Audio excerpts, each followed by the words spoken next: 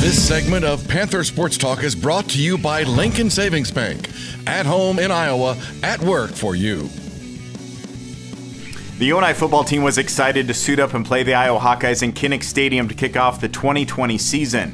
But with the Missouri Valley Football Conference and Big Ten Conference moving college football to the spring, head coach Mark Farley and his staff had to make some big adjustments to meet the unexpected challenge. We caught up with the winningest coach in program history, Mark Farley. Coming off the 2019 season, UNI football ranked number five in the nation after an appearance in the FCS quarterfinal round game. UNI was returning eight starters on both the offensive and defensive side of the ball.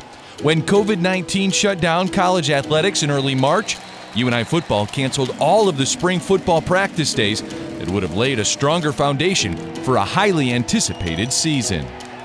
When we checked in on June 8th, we really hadn't seen them since March. So really had no idea of what they would look like, if they were going to come in in shape or out of shape, what they looked like after going their own directions and everybody was separated.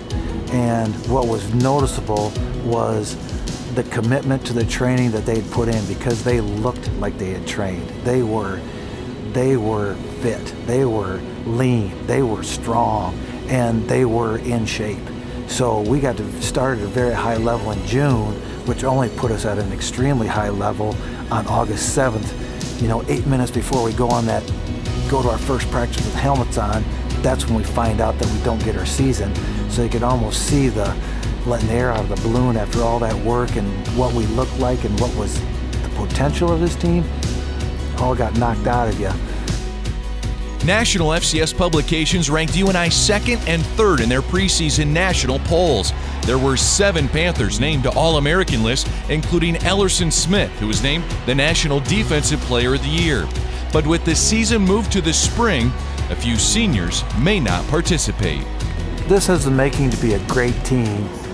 One, it had talent on it. Two, it had experience on it because of the redshirt seniors. And three, it had great chemistry.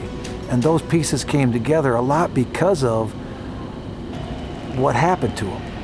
It was, you know, the talent, it was developed. The, uh, the experience was the older guys we're talking about that had great talent and great experience. But the COVID really created the chemistry because of what they had to do outside of the dome, what outside of the team to work. I mean, we had mothers buying weights.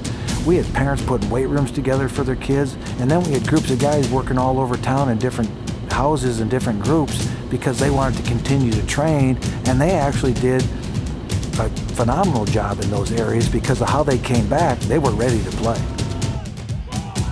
As the UNI football program waits on decisions about the FCS playoffs and a spring season, seniors are deciding between moving on or competing in 2021.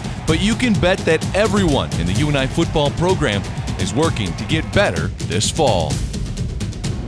We need to make we need to find a way to bring our team to peak for the spring season and we have to find a way to do that in how we set up our programming, our lifting, our running. We have to redevelop all that, reset that, and re-energize our football team after losing something after you set them up for this is it. Now you have to kind of, re, as I say, reset the chains. It's like coming out after after getting beat up in the first half. You got to find a way to win the second half. Well, we're in the second half now, and we're going to have to adapt and make a halftime plan that will has been untried, but it's going to have to work if we're going to be successful in the spring playing the spring season.